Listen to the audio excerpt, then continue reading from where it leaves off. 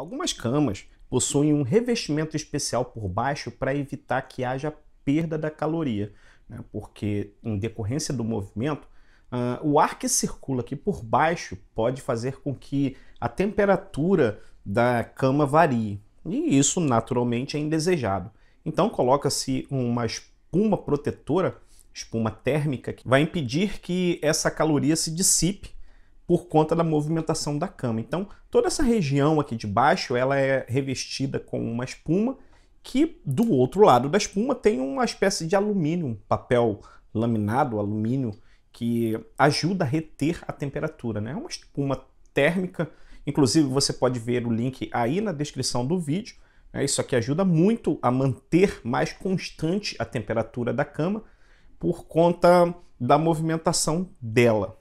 Outra coisa importante que eu gostaria de mostrar é o desgaste natural da, dos rolamentos à medida que a gente vai imprimindo. Observe, esse, esses rolamentos aqui são rolamentos especiais de policarbonato.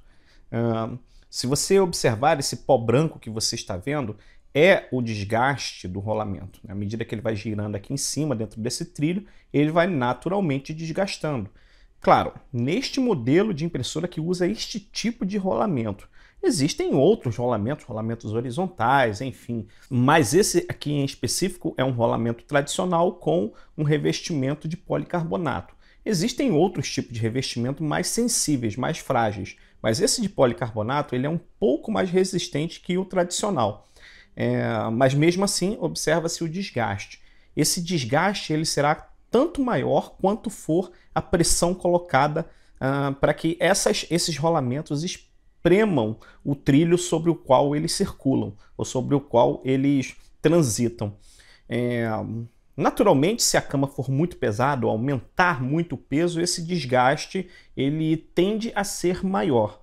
Então, quanto mais leve a cama, melhor é, menor é o desgaste. É bom que as peças não tenham folgas, né? porque quanto maior a folga, pior será os problemas de imprecisão.